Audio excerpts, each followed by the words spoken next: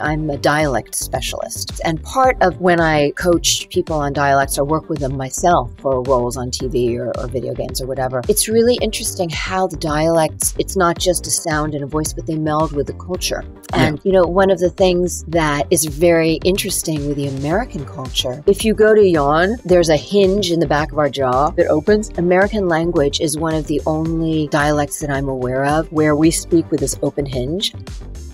And so our sound is very open from here and here. It's very much here and in the chest. So it's got this open quality to it that's very typical of our culture. Whereas you go to um, Sujum, Sujum is never open Sujum. And actually, German accent, it stays inside some